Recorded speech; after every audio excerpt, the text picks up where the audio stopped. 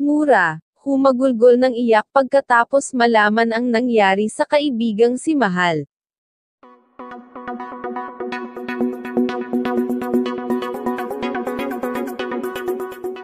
Kamakailan lamang ay napakasigla pa ni Mahal at bumisita pa ito sa kanyang kaibigan na si Mura, at nagbigay pa nga ito ng tulong, ngayon ay binalitang binawian na ito ng buhay.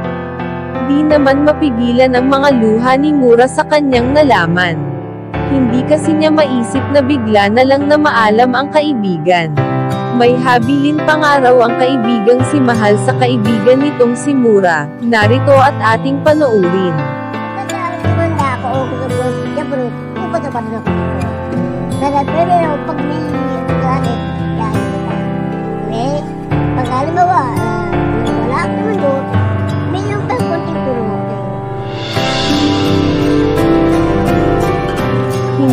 Lubos maisip ni Mura na ito na pala ang huling sandali na makakausap at makakasama ang kanyang kaibigan na si Mahal.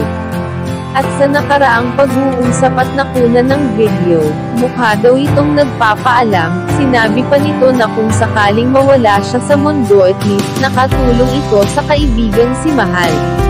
Ang buhay natin ay hindi talaga hawak natin, kung babawiin na ito ng Panginoon ay wala tayong magagawa, kaya habang maaga pa ay magtulungan at tulungan natin ang mga nangangailangan sa abot ng ating makakaya.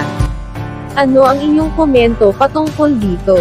Para sa mga bagong chismis huwag kalimutan na mag-subscribe at i-click ang notification bell para updated ka sa bago kong chismis.